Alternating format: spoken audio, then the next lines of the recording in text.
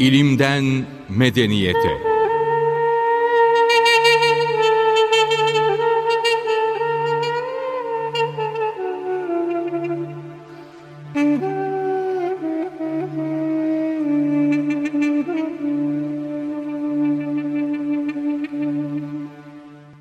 Merhaba kıymetli dinleyenlerim. Bir ilimden medeniyete programında daha sizlerle buluşmaktan dolayı mutluyum, sevinçliyim. Bundan önceki haftalarda sizlere Barbaros Hayrettin Paşa rahmetullah aleyhin hayatını kısaca bir özetlemiş idim. Durup durduğu yerde Midilli'de bir sipahinin oğlu olarak dört çocuklu bir aileden erkek evladı olan aileden üçüncü çocuk olarak donmuş olan doğmuş olan Barbaros Hayrettin Paşa paşa değildi. Nihayet abisi deri ticareti yapardı. Yani bir yerden mal alır bir iskeleden diğer iskelede götürür satardı. Ondan para kazanırdı. Helal para. Ticaret. Sonra böyle birkaç defa Rodos şövalyeleri abisinin ticaret kervanlarını, gemi kervanlarını diyelim, filolarını diyelim, e, soymaya kalkıp böyle zarar verince Dedi ki abisi de o öyle olmaz böyle olur. Ben korsanlığa başlıyorum dedi. Ve Barbaros Hayrettin Paşa'yı da kardeşi de zaten yanındaydı. Efendim onunla beraber korsanlık yaptılar. Sonra da Cezayir'i aldılar. Ondan sonra birinci Selim Han'a gelip e, adamlarını gönderdi, elçilerini e, bildirdi. Ben Osmanlı'ya tabiyim dedi. Osmanlı da onu Cezayir Beylerbeyi yaptı. Arkasından da büyük savaşlar oldu. Şimdi bu e, hayatın 78 senelik hayatın hani 20 yaşında başladığını kabul edelim. Belki daha erken başlamıştır ama 58 yılda neler yapılabilmiş. Bugün 78 yaşında olan bir insan ömrüne neler sığdırabiliyor ki? Habire takvime bakıyor, emekliliğime ne kaldı diye.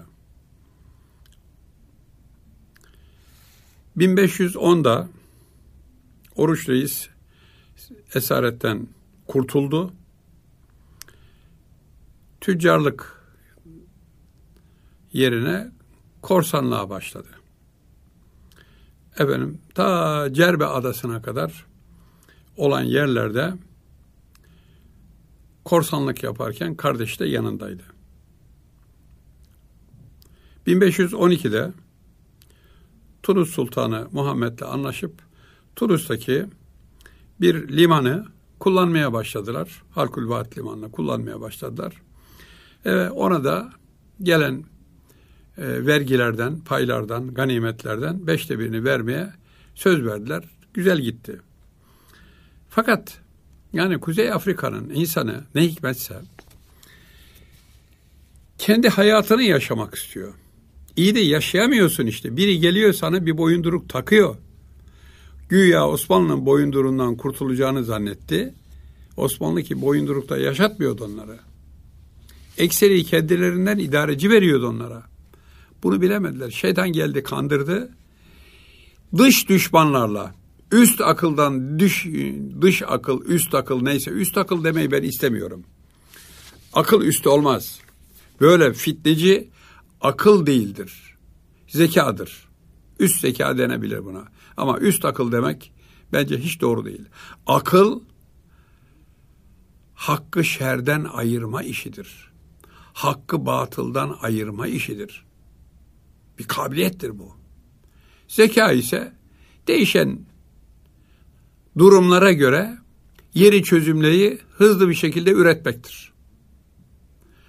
Ama bir yeri soyarken ama bir yere efendim sabotaj düzenlerken nasıl bir çözüm bulurum da bu işte muvaffak olurum o da zekadır. Ama vatanımı düşmanlardan korumak akıldır. Bizim memleketimizi karıştırmaya kalkanların ki Üst akıl değil. Olsa olsa üst zekadır. Bence akıl kelimesi buraya oturmuyor. Oturmuyor. Ha dış düşmanlar. Efendim kukların iplerini elinde tutanlar. Bunlar söylenebilir. Öyle yapıyorlar. Şimdi de öyle yapıyorlar. Bu dünyanın yüzünü güldürmüyorlar. İnsanların gülmesi, mesut, bahtiyar bir ömür sürmesi onları rahatsız ediyor. İnsanlar yaralansın, hasta olsun ki kendilerine muhtaç olsun. Onlar da o insanların ne varlığı varsa sömürsünler diye. 1516-17'de yani Osmanlı Devleti Merci, Dabık ve Ridaniye seferleriyle, Mısır seferiyle uğraşırken İspanyollarla savaştı. Ve Tenes, Tlemcen, Oran şehirlerini aldı. 1517'de Oruç Reis Cezayir hükümdarı ilan edildi. 1518'de İspanyol Cezayir'i geri almak için Araplarla birleşip saldırdı. Oradaki yerlilerle, daha doğrusu Araplar değil de oradaki e, Berberilerle birleşerek, Arap sözü uygun değil, efendim birleşip efendim saldırdı. Ve bu savaşta, bu saldırıda İshak Reis ve Oruç Reis şehit oldular.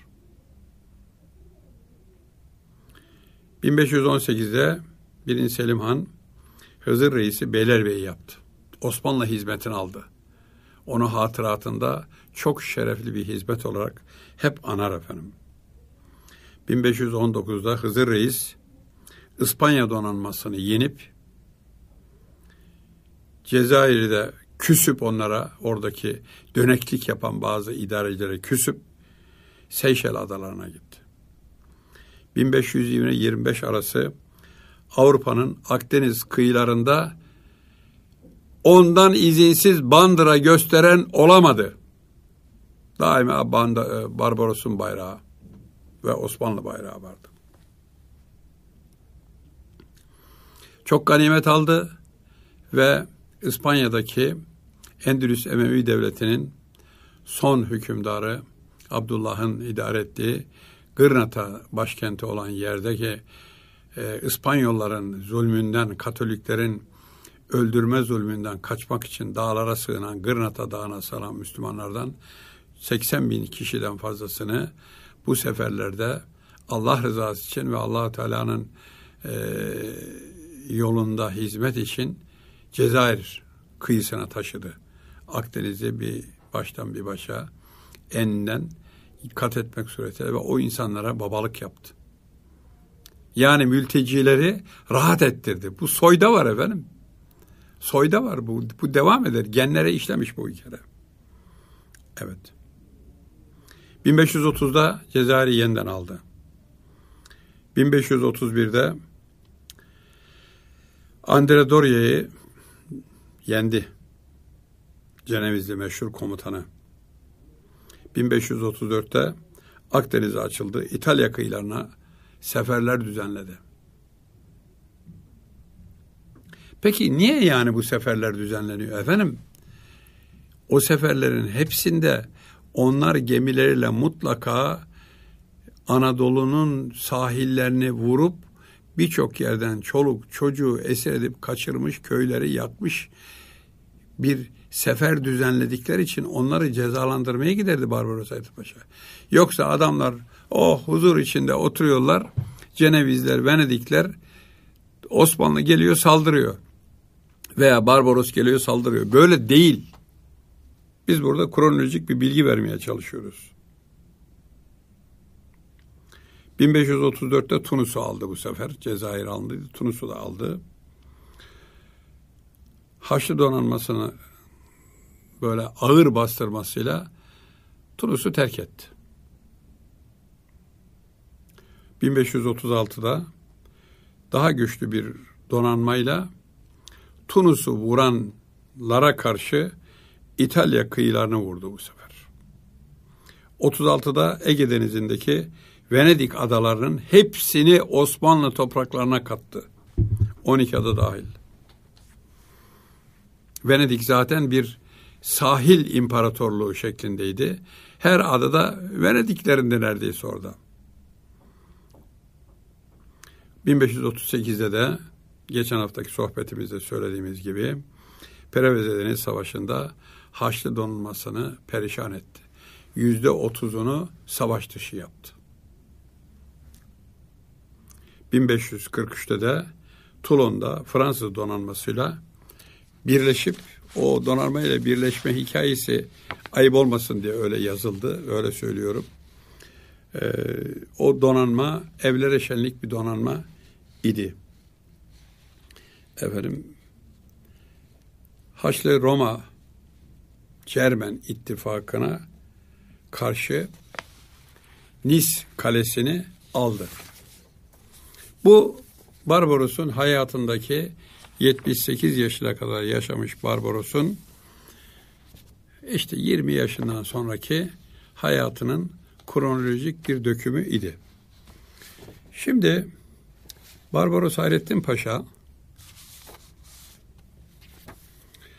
Paşa'nın bir Fransa seferi var. Bu öyle Fransa'ya sefer yaptı gitti Fransa'ya yardım ettiğiyle bitecek iş değil. Niye değil?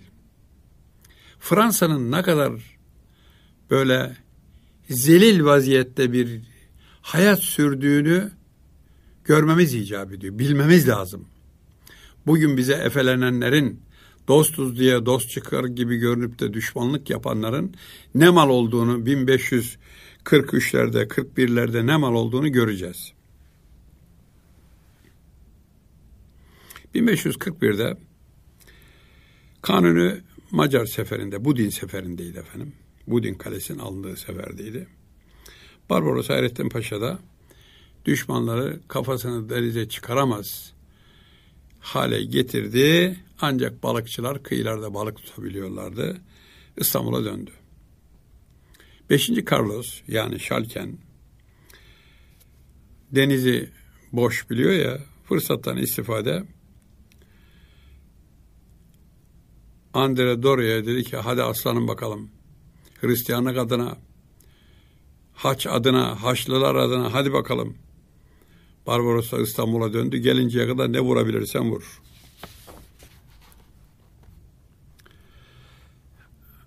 Efendim Andre Doria 507 gemi, 12 bin gemici, 20 bin piyade, 5 bin süvari, at gemileri de vardı onların. 37 bin askerle bir donanma Haçlı ordusu hareket etti. 1541'de Aralık ayında kışın deniz seferi düzenliyorlar. Düşünebiliyor musunuz? Hangi denizciye söylesen ya olur mu der ya. Muzaffer olan tarafa da zarardır kışın denize gitmektir. Bunlar gitti. Şimdi mülteciler bu kış e, böyle gittiler gittiler. Ne oldu efendim? Ne kadar zayiat verdi? Yazık günah değil mi? Barbaros'un oğlu Turgut Reis'in damadı Hasan Bey 600 Türk 2000 kadar da yerli berberi atlısıyla bir gece baskınıyla onları perişan etti. Ve Akdeniz'de üstünlük kurma sevdasından Şarken'i vazgeçirdi. Korkuttu. Bu ara İspanya-Fransa harbinde, İspanya'da da e, gayri meşru kardeşi Filip var. Şalke'nin. İspanya İngiltere'den yardım istedi. İngiltere Türk korkusundan yardım edemedi. Türkler Fransa'ya meyyal ya o zaman. Kanunu hoş tutuyor. Efendim onun içinde eğer ben İspanya'ya yardım eder Fransa'nın yenilmesine sebep olursam Osmanlı gelir acısını benden çıkarır dedi. Bu korkudan yardım edemedi. Şimdi biz ufacık bir iş yaparken Vay benim verdiğim tankla sen teröristlere karşı savaşamazsın diye karşımıza dikilenler olmadı mı? Son senelerde. Benim verdiğim tankımı, benim verdiğim topumu kullanamazsınız diyenler olmadı mı? Şimdi ne oldu? Türk savunma sanayi dev adımlarla ilerledi. Roket sanayi dehşet bir şekilde gelişti. E şimdi kimse de benim verdiğim silahı kullanamazsın diyemiyor. Çünkü onun verdiği silah yok. Onun verdiği silah yok. Sattığı silah var. Sattığına karışamazsın ki arkadaş. Ben arabayı senden alırım. Götürürüm bir uçurumda yuvarlarım. Vay benim arabamı niye yuvarladın der misin? Diyemezsin. Parasını ben verdim. Ama hibe olsaydı o araba ya ayıp değil mi ben sana bunu hediye ettiydim, hibe ettiydim. Bak muhtaçsın bu araba yuvarlanır dersin. Evet biz gençliğimizde hep Batı'nın bize silahlı kuvvetlerin ihtiyaçları dahil birçok ihtiyaçları yardım olarak Marshall planıyla daha sonra Eisenhower'in de uyguladığı bir planla biz ayağımızdaki çoraba kadar oradan alıp giyiyorduk. E tabi adam bu ordunun çorabını veriyorsa bu ordunun attığı adımın da hesabını sorar. Tabi birçok büyüklerimiz bu pençeden kurtulmaya çok çalıştı. Yani onlar da bunun sıkıntısını çekiyorlardı millet arası alanda. Şimdi elhamdülillah çorap çamaşır işi halloldu. Biz milletin çorabını hediye ediyoruz. Afrika'nın yiyeceğini hediye ediyoruz. Kuyularının sularını biz çıkartıyoruz. E bunu da istemiyorlar. Türkiye bunu da yapmasın. Hep bize bağımlı kalsa. Bağımlı değil. Evet. Türk korkusundan İngiltere İspanya'ya istediği halde yardım edemedi. Etmedi değil. Edemedi. Birinci Fransuva Elçi Polini Macaristan'da halen sefer durumunda olan kanunun huzuruna gönderdi. Oraya gitti, bu dile gitti.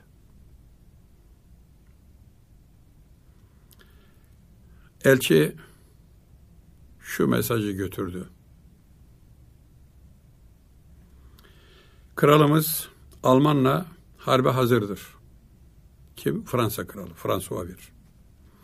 Türk donanması Akdeniz'e açılınca bize yardım ederse hemen hareket edeceğiz buyuruyor.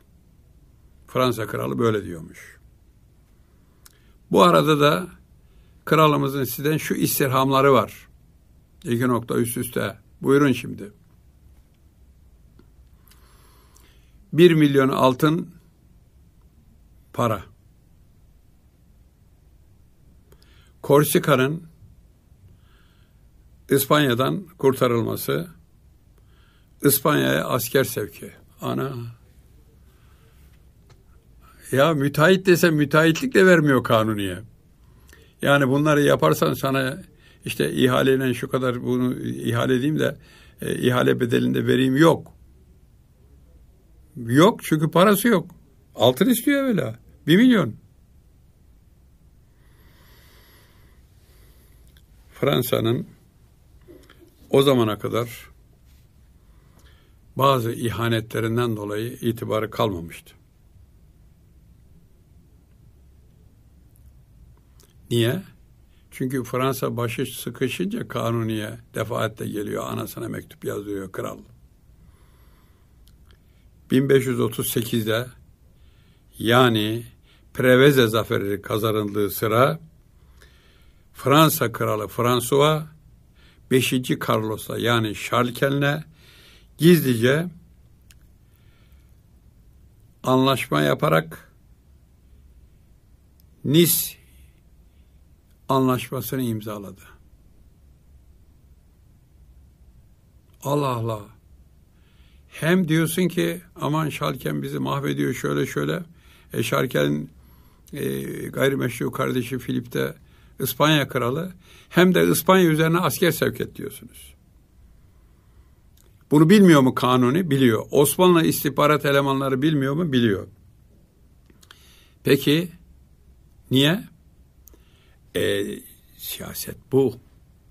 Dünya siyaseti bunu icap ettiriyor. Kanuni gene yardım edecektir. Edecektir ama Barbaros Hayrettin Paşa'nın donanmasıyla ettiği yardımı süreyi doldurduk bakıyorum. Haftaya inşallah sizlere anlatmaya çalışacağım. Bugünkü süremizin sonuna gelmiş bulunuyoruz. Hoşçakalınız efendim.